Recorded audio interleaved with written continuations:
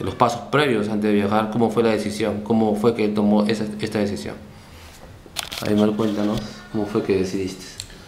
Sí, fue una decisión tomada en consenso con mi esposa, lo analizamos bastante, eh, porque teníamos que arriesgar, tenemos que arriesgar, y gracias al apoyo también del chef Rafael, que estuvimos en contacto meses atrás, sí, estuvimos planeando tres, cuatro meses eh, venir, y pues nos decidimos, y, y sabemos que, que hemos aprovechado, yo he aprovechado mucho.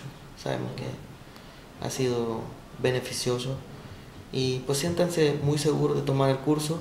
El chef Rafael es una persona muy agradable, muy abierta, que no dejará cabida para las dudas.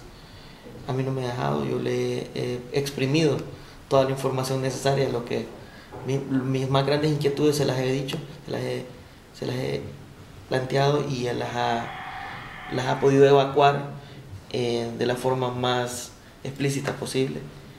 Y si tienen interés pues, de tomar este curso, pues anímense, que se van a sentir mejor. Yo me voy mejor, me voy con una mente más diferente, abierta a mi país, arriesgarme también, porque esto requiere riesgo también. Y les digo que si tienen el interés, llámenlo, consulten con él, eh, tomen su decisión. Recuerden que esto es algo personal y que les puede traer muchos, muchos buenos beneficios en el futuro.